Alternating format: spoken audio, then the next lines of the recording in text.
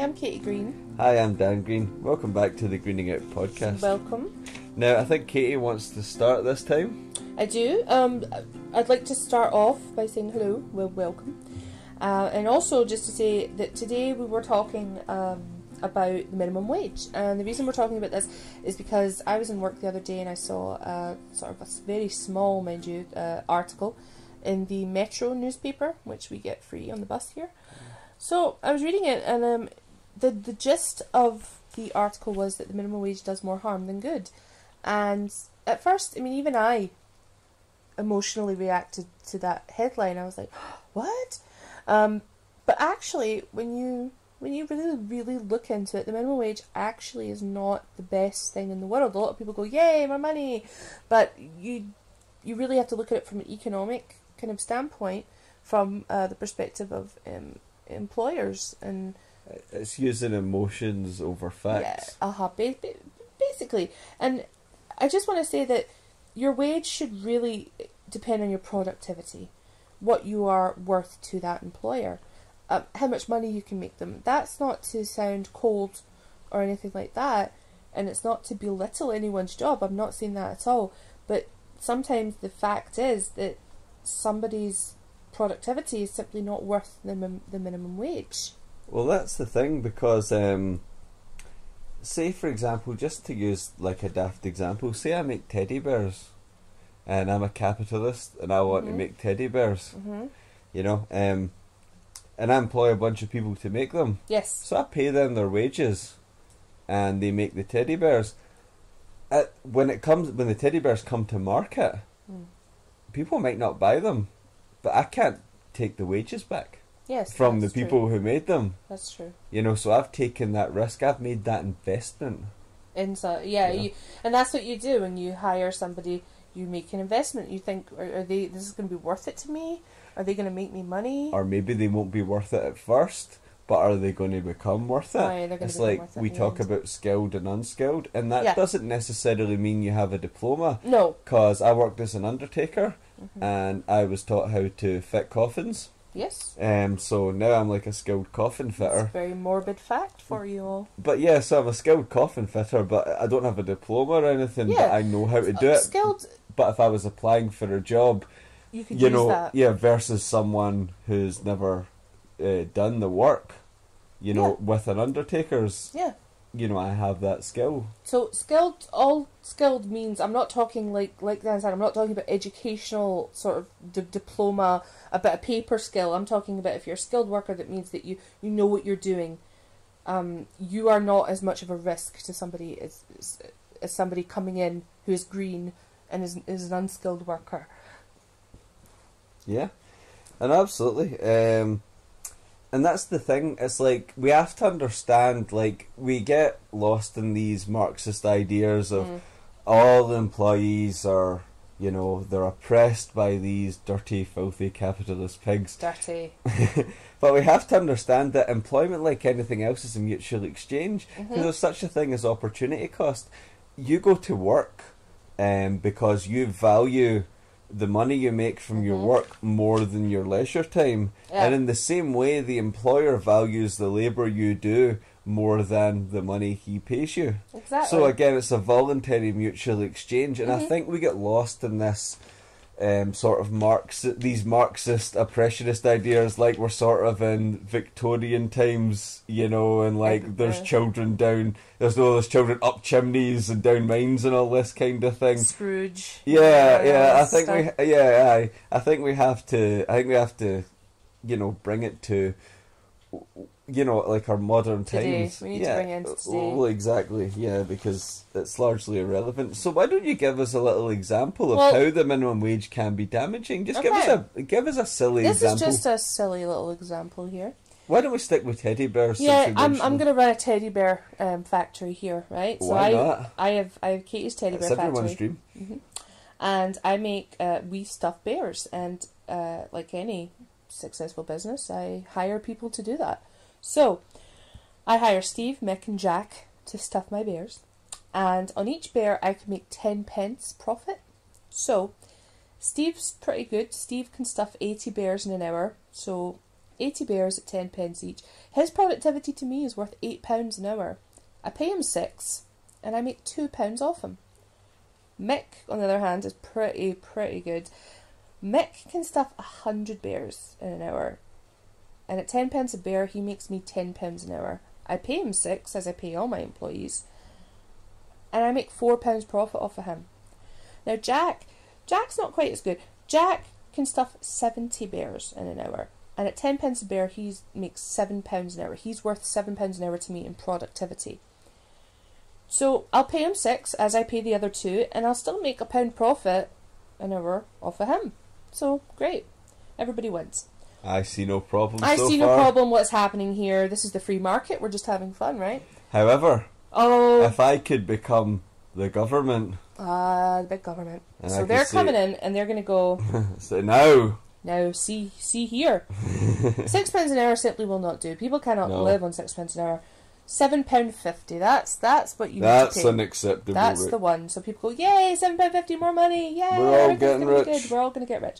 So seven pound fifty an hour. So I look at my books again and I go, okay, I need to pay these guys now pound fifty more an hour. What am I gonna do? Okay, Steve, you make eighty. Uh, you're worth eight pounds. You're still making me fifty p profit. I'm gonna I'm gonna keep you, Steve. Mick, you make a hundred in an hour. You're worth a lot to me. You're my star player. You make me ten pounds an hour. I'm still gonna make two pound fifty profit off of you.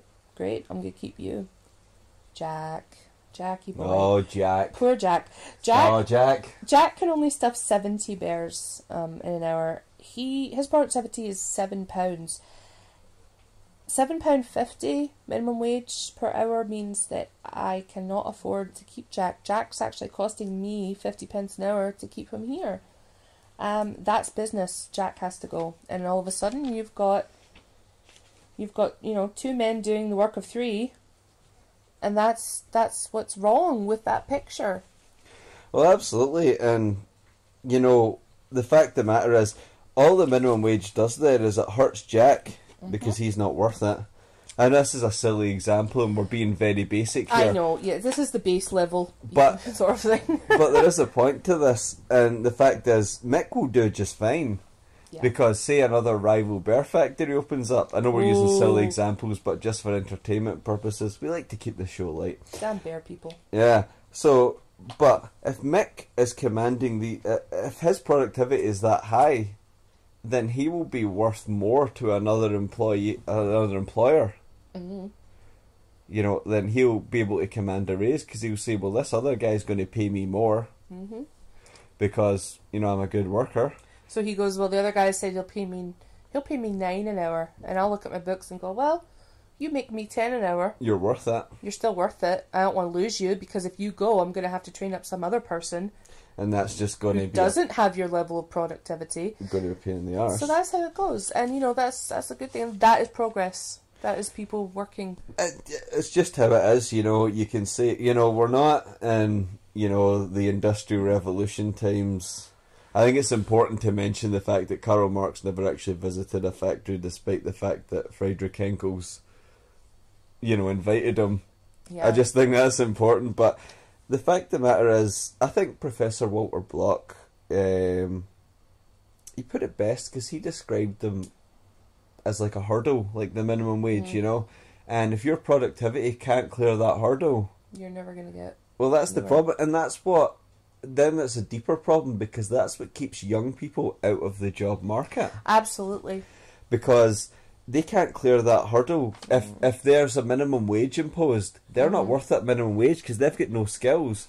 But if you're a young enthusiastic person, like an apprentice in this country, because apprentices Yeah. get paid very low wages, And it's because of those reasons, the risk, the, the cost for training them up. it's a big risk. Yeah, It is a risk, and you know, apprentices. I, I agree with the, with apprenticeships. It's a shame there's not more in in this country and all over the world. It's actually a shame that I know a lot of people that I went to school with that um, they were kind of pushed towards college and things. It didn't work out for them. But see if they, because what I found about school in this country, and I find mm. that that's quite a it's quite a thing. with A lot of schools they say, "Oh, you need to go to college, you need to go to university." But I know a lot of people and- yeah. that see if they'd have been offered apprenticeships and if it had been made easier for them, yeah, they'd be doing great now. yeah.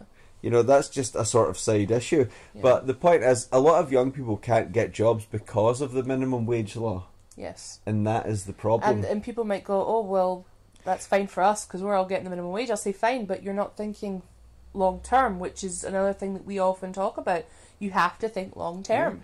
Those young people can't get the skill because they're not worth the minimum wage just now. Their productivity is simply not worth the minimum wage. Yeah. So how are they supposed to achieve those skills? And but that if you hire them at a lower rate, Yeah. as their productivity and their skills, because you know what it's like when you first start working. It's hard to get used to being in the workplace and getting used to how the job works. But see, as you go on, Aye. you find that in every job you get better, you get more efficient, and you're worth more to your employer. Mm-hmm. So that's why if we had no minimum wage. And these people started at a low wage, they there would be people that wouldn't do so well, Mm-hmm. right? But there'd be the ones that would excel, they would put themselves into it, and then soon they would be worth much more to the employer, Yes.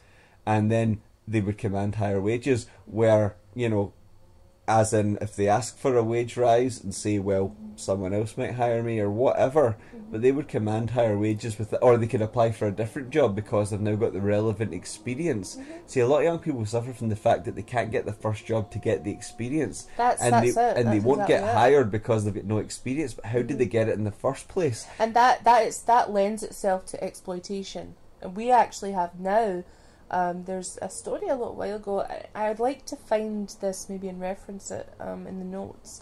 Uh, people now are applying to do unpaid work. Oh yeah, like internships and that, just to get some kind of just to get the experience. just to get the experience. And they're getting no. they're not getting any uh huh no financial recognition no no money for their time. They could be in these jobs for a year two two years their labor surely would be worth a lot more Well, exactly, and, and that's the point. You know, how do we stop youth unemployment? Well, sorry, well, how do we reduce youth unemployment? yeah you can't stop Yeah. it yeah How do we reduce it? We reduce it by getting rid of minimum wage and letting employers take on young, enthusiastic people at a low wage. Mm-hmm. And then what we'll do from that, well, what will happen from there is they'll gain more skills. mm-hmm. Um, and then, like, you see this in different industries as well, Mhm. because if you have, like, a lot of, if you have so much labour, there's no minimum wage and labour is quite free, Mm-hmm. then you'll find that as companies grow because of that, then employers will have to bid up for wages. Mm-hmm. You know, other, you know, like, say a company will see someone that's doing well Mm-hmm. and they'll try and poach their employees. I've seen it in my own working life. I've seen, Mm-hmm. I've worked for companies, obviously I won't name the companies, but I know that those companies have actually given employees from rival companies higher wages to come and work from them. I've seen that before. because You know- they want uh, bu- They want the skill. they want the skill they want to be the best in their field Yeah. so if you are really good at making bread Yeah. you know you're gonna demand i'm there. just i'm just making really really daft analogies but if you're really good at making bread you're going to go to the top bread honcho you're, you're going to go to hovis Yeah. or warburtons and you're going to Yeah. go look i make I suppose I could make one. I, I- I don't. I don't need to name the company, but I could make one example. Mm. I worked for an Undertakers, yes you did and there was an employee that was at a certain rival Undertakers, hmm and my boss yes actually um, gave him much higher wages to come work for us. So because he was a good, he was good at what he did. Mhm. He knew a lot of people. He was a talented guy. So Mhm. he actually paid him more to come work for the company I was working at at the time, and that's how that works. yeah You know, employers will bid up for wages if labour is more plentiful. Mhm. What stops labour being so plentiful is these minimum wage laws. And I know it sounds good, but I don't think, no, it doesn't help anyone. no No, it doesn't. I uh, people might attack us and say, "Oh, but what if, well, what if it got scrapped and you started getting paid so little an hour?" I have the knowledge. I I, I think I'm good at my job. Yeah. And you think you're, You're good at your job. I know I'm qualified to do my job, and I like. To I know it. for a fact there's a lot of rival companies coming up to the company I work for just now, and I have no doubt that they'll start in the next few years try bidding up with yeah with deregulation and stuff like I have no doubt. Sorry, deregulation. Deregulation. It's such a hard word, but now I have no doubt that they will start building up, like bidding up for wages. That's that's how it works, you know. and and that's why a free market is. we have to let the market work, and we should just make this little note that you hear people in mainstream media blaming the free market for things. We've never actually had a free market. Yeah. So how about we have a free market let's first? just see how it goes. yeah, let's have a know. free market first, and then you can complain about it. Um, so I think we've covered this I've pretty covered well. what I want to cover. Um, what I'd, what I'd like to do now, if this is all right, is I would like to say to everyone thanks for the donations Really awesome. and thanks for your kind emails we've had so far. Um, and I would like to say that we have been in touch with some great people really, recently. really excited about really excellent interviews. people that we're going to have on the show. Yeah. Um, we're going to start greening out interviews. We're going to start recording them this week, and the guests are fantastic. And we'll obviously once we've- Obviously in once, time. once we've recorded the interviews, we'll actually, you know, we'll start giving you all the details of who's on and Yeah. when. But we have really great guests we've been in touch with. Um, We're really, really excited about the future, and we just want to say a really, really big thank you. Um, get us on www.greeningoutpodcast.co.uk Yeah. and at Twitter at greening underscore, underscore out. yeah. And we're also on Facebook. We are on Facebook. We're on Tumblr as well. We We, don't get a lot aren't of love on Tumblr. no, we don't. We don't get a lot of Tumblr love, um, but that's okay, you know. But you can search "greening out" and and you, you I'm sure that you will find us. Yeah. So I just want to say thank you. Yes, yeah, thanks for listening. Um, and next time you hear about someone talking about, oh, the minimum wage should be higher, let's just think. I mean, Give them a link to the show. wouldn't it be great if the minimum wage was a hundred pounds an hour? But do you really think in your job you're worth that? Are you really worth that? In, £100 in reality. I mean, even even if we're gonna, you know, we, we could sit here all day and we could talk about numbers, but at the end of the day, we've said what we've had to say about the minimum wage, and we're just gonna leave it at that. Yeah, so thanks very much for listening. Thank you. As always, greeningoutpodcast.co.uk, and would you like to just say your thing you always say? Oh, I always say this. If you want to get in touch, um, please do. We actually have uh, an email address specifically for hate mail. Yeah, Randy Bobandy at greeningoutpodcast.co.uk. Yeah. Uh, that is where you can send your hate mail to us if you want to So- say fuck you. send it all. Send it all if you want to send some love mail. Um, Katie at greeningoutpodcast.co.uk. Um, and keep tuned to the website because we have some excellent guests coming. You're going to love it. great. All right. Thank you. Thanks. See you later. Thanks for listening.